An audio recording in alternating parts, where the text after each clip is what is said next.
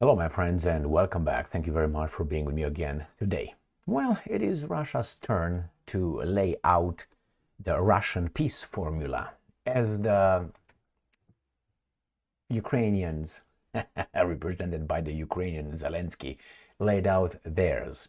So we have here Medvedev, and Medvedev, Medvedev is a former uh, prime minister and former president of the Russian Federation. He comes and tells us uh, how Russia sees uh, this uh, war ending and what are Russia's expectations as the other ones brought forth their peace formula. Very interesting. Um, they give uh, Medvedev gives us a little flavor extra from what uh, we knew about the peace formula, and it remains unchanged. Let's make it uh, clear. So let's go to this article coming from Ukrainska Pravda. It is from Thursday, March 14th, 2024. Medvedev say, lays out so-called Russian peace formula. Okay, this is so-called, but theirs is the real peace formula. Well, let's see what the Russians say. I mean, in any argument, you want to hear what the other side says, right? If you want to go and dispense justice or, you know, make an, uh, have an opinion on something or an assessment, you have to look at both sides. So, okay, we know what these guys want. Now let's see what the Russians want unless we know what they want and with no need to listen to them. This is the mentality of the Western media. We tell you. Don't talk to them. No, no, no, no. We're going to tell you what you need to understand of what we tell you they think. Or they say. No, I would like to read it myself. Nevertheless, here I have this uh, formula uh, being given to us by Ukrainska Pravda, and understandably enough, it's called uh, so-called. Deputy Chairman of the Russian Security Council, Dmitry Medvedev, has laid out the details, oh, thank you, of the so-called Russian peace formula, which would require the capitulation of Ukraine. Uh,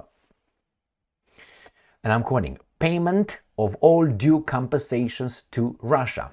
Hmm and, and I'm quoting, adoption of an act on the reunification of the former territories of Ukraine with the Russian Federation in return for Russia ending hostilities. So this is basically what the other guy says too. Said too. Didn't they say that uh, they want Russia to capitulate?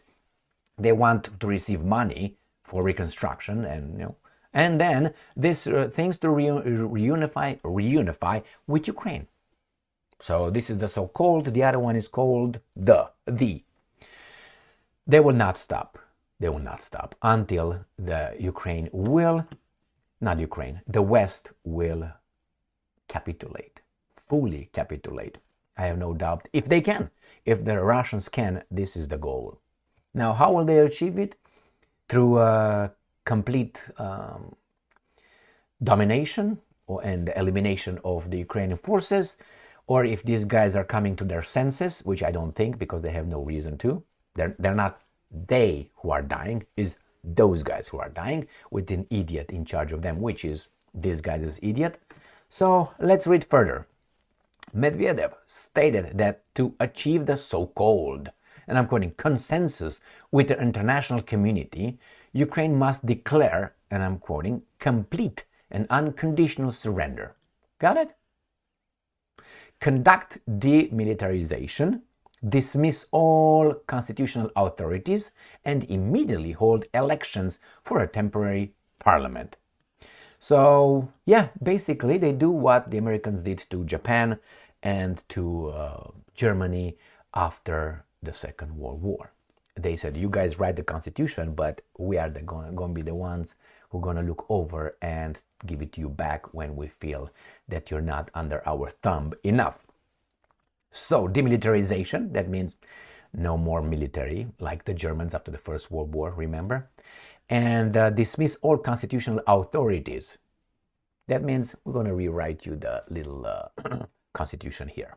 So constitution election in the, in the parliament that's going to be supervised and then complete and unconditional. That means we do whatever we want to you well, never been so clearly uh, exposed by uh, Medvedev or by the Russians. He also claimed that Western countries recognize the, and I'm quoting, Kiev political regime as a Nazi junta and that there were no need to conduct a forced denazification program encompassing all authorities under United Nations supervision. Was a need, there was a need to conduct a forced denazification. Denazification for the Russians is this uh, don't support, I was about to say Mazepa, uh, what's his name? Uh, Al Capone? No. Um, Bandera and uh, the people like him destroy the monuments that were erected because for the Poles and for the Russians, uh, Bandera is a Nazi collaborator and um, so on. They, they try to keep it down. It means don't hate us. Well, that's hard. That's hard, but eh, they're going to try by force, by uh, propaganda, media. But in order to do that, you have to control it. In addition, the Russian official believes, oh, official, now he's an official, huh? believes that Ukraine must pay compensation to Russia, including reimbursing relatives of Russian soldiers and to, and I'm quoting, official, like, officially recognize that the entire territory of Ukraine belongs to the Russian Federation. If, I'm not going to say when, if the Russians um, succeed in destroying the Western will and uh, will eventually conquer or take over Ukraine, I think all these things will be achieved by the Russians uh, without asking the Ukrainians. We're going to find some uh, eager collaborators that will uh, have to do it like in any other country. Uh, remember uh, in France, the Vichy government and the guys who went in exile in uh, London with uh, General de Gaulle. Again, they had to cooperate.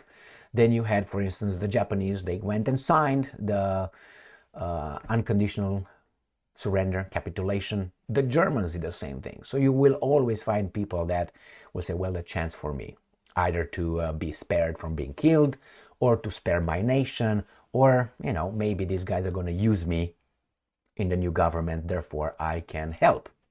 Many reasons. They've done it before. I'm talking about anyone in the in the history. If you read the history, has done it. You put your own people or people who are willing to do what you say, and they can do it because they're weasels. They can do it because they think they're gonna protect their families, their interest, and uh, their country, their nation, and they will do it. They will find the right people who say yes, uh, we're gonna do it. Quote, this is, and I'm quoting, this is the soft, soft parade, like uh, the Doors uh, album. This is the soft Russian peace formula. What's the harsh one? After all, this is a compromise position, isn't it? I believe that following it, we can come to a friendly consensus with the international community, including the Anglo Saxon world. Okay, it's clear now, right? International community, it's separate from the Anglo-Saxon community and conduct productive summits counting on the understanding of our close friends, namely our Western fuck off partners again. Jesus Christ. Anyway, so basically, this is the soft thing. What will be the harsh thing?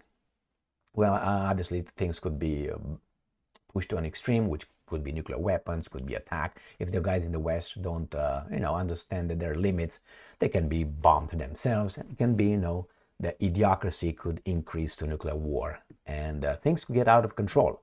The West doesn't want nuclear war. The West doesn't want to be scratched. Remember, remember, like a bully. The bully wants your lunchbox without being scratched or punched in the nose or caught by the balls or I don't know, poked in the nose or eye or something like this. No, they want to take it with psychological warfare. They can beat you, but they don't want uh, any more effort or any little damage. If that is to happen, they will do it. The problem here is Russia will not only poke you in the eye, it was gonna you up. And yeah, you're gonna them up too. The problem is you don't want that. Why? Do you think the Westerners, the elites, really want to uh, fight to the end for what? I know a group that is behind these elites that really want to do that eventually we have a messianic uh, prophecy there, right? And remember, these guys that are fighting the Russians, they fight because they were kicked out of Russia. They have a personal, idiotic I don't want to say messianic, but religious argument behind their idiotic push. Remember, Putin kicked them out. They were riding high on Soviet Union, in Soviet Union. And that's one of the grievances of all these new lands. All right, my friends, here it is. Um, this is a soft offer. It's a, he says, a compromise position. That means they have some other aces right here in the sleeve, but are not ready to use it unless these guys are not cooperating.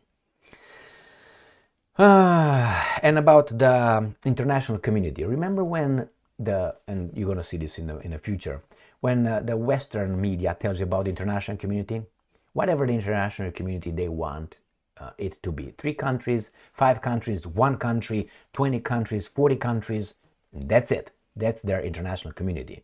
There's never 193 countries as an international community. Do you think they care about what Zimbabwe says? Unless Zimbabwe promotes and accepts uh, and supports the position of the guys that use this international community. But here Medvedev made a position international community and the Anglo-Saxon world, not Anglo-Saxon Latin world, uh, world, including French. So French is out, as we knew. Uh, Anglo-Saxon mean, meaning United States of America, using Great Britain, and the other weasels like Australia, weasel government, not people. Yeah, the governments are formed of people, but hey, they're in the hands of the same groups. You know, the, you know what I mean. So here is, my friends. He's nice, actually, Medvedev. Con- unconditional surrender. Japan, Germany, you're doing great. So I'm expecting to follow the same uh, pattern with un- uh, unconditional surrender. That means if Ukraine will uh, surrender unconditionally, they will have the outcome of Germany and Japan, free, democratic, strong, independent countries. Thank you very much for being with me again today. Stay strong, stay smart, look for the truth, and be just.